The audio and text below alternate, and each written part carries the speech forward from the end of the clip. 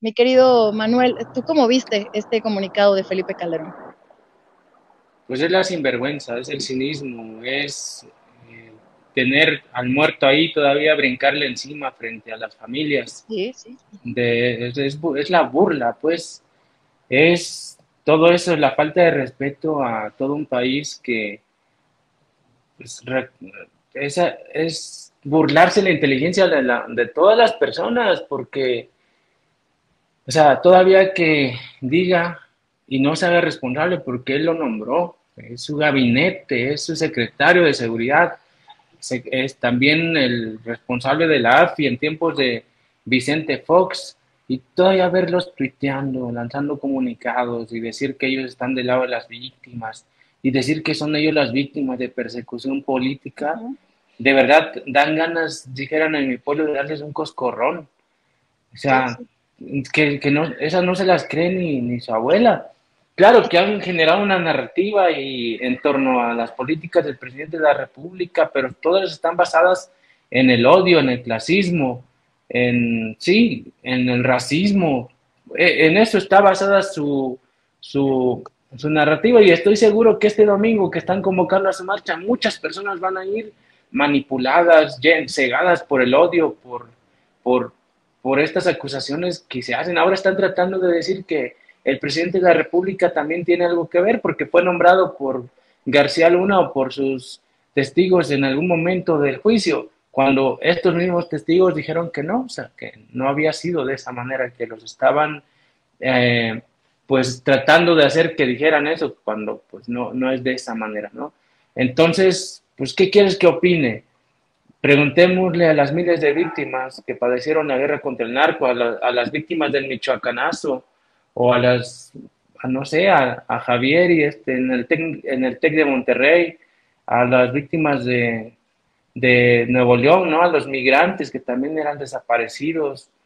A todas esas personas hay que preguntarles qué piensan de Felipe Calderón. Él dijo en algún momento, en alguna entrevista con el este señor que crea montajes, Loret de Mola, Que, que se haría responsable si resultaba culpable, o sea, responsable lo que a él le tocaba en caso de que, de que fuera declarado, declarado culpable por haberlo nombrado.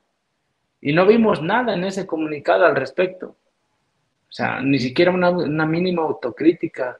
Caray, yo escuché la mañana del presidente hace un rato y habló de que hay denuncias penales y de otra índole, pues contra incluso personas funcionarias del propio gobierno actual y que no se va a proteger a nadie.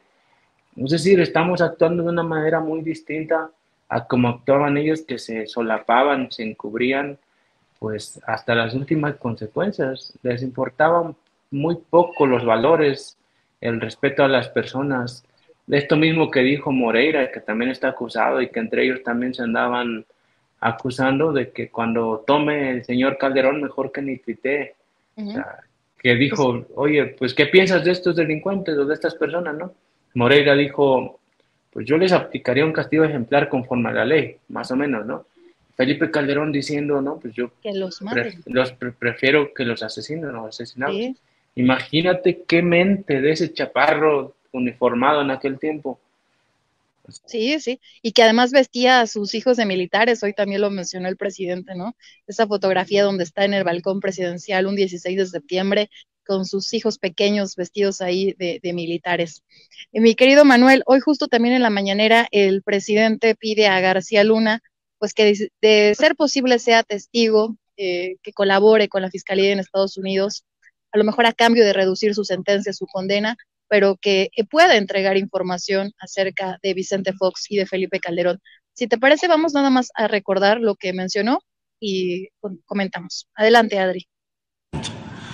Primero, luego, todavía hay la posibilidad de que García Luna eh, se declare como testigo. Y yo diría, como presidente de México, por el bien del país, que ojalá y lo haga. A cambio de que informe sobre si recibía órdenes o informaba a los expresidentes, tanto a Fox como a Calderón. Sería una oportunidad que, pudiera tener Genaro García Luna. ¿Qué piensas, eh, querido Manuel? Yo pienso que es una de las grandes probabilidades, ojalá lo haga, como dice el presidente.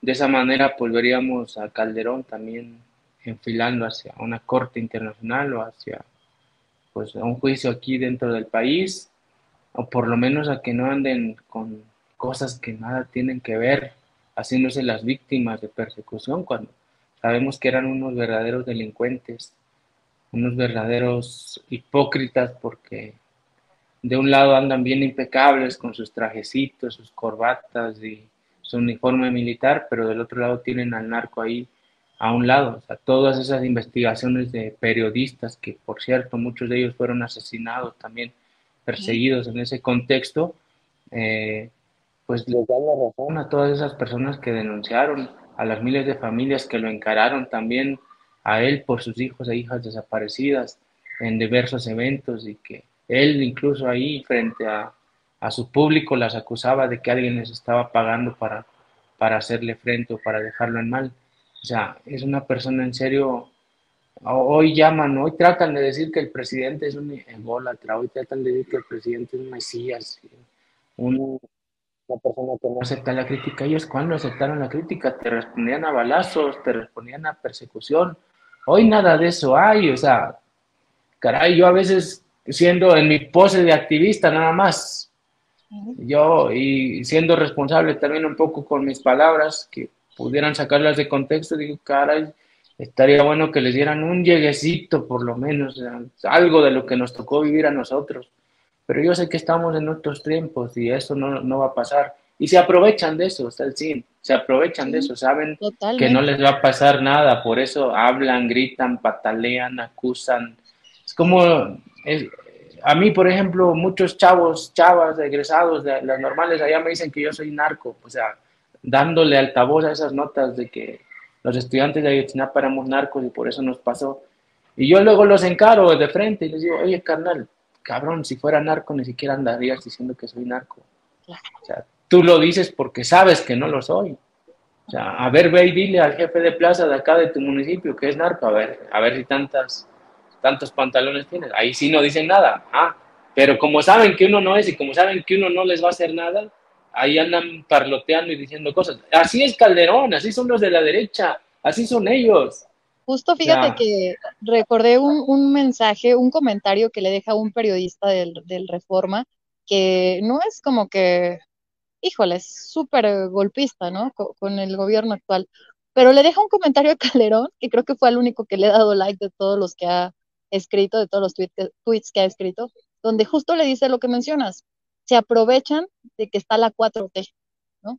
Te aprovechas de que está la 4T. Porque estuviéramos en un gobierno como los que nos tocaron antes, eh, sí, no es que tomen a mano estas palabras, pero bueno, ya no estarían ni para contarlo, ¿no? Ni para defenderse, ya los hubieran mandado a callar. Tú lo viviste, Manuel, eh, lo hemos vivido, yo lo he eh, documentado, he salido a reportear, no me ha tocado estar en las marchas, en las represiones eh, con Peña Nieto, es terrible lo que se vivió.